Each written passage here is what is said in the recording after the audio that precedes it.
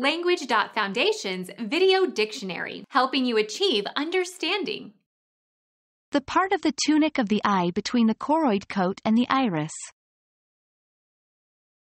The ciliary body produces aqueous humor.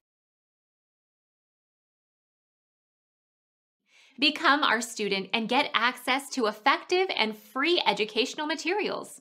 Subscribe to our channel to become a part of our growing community and to learn English effectively.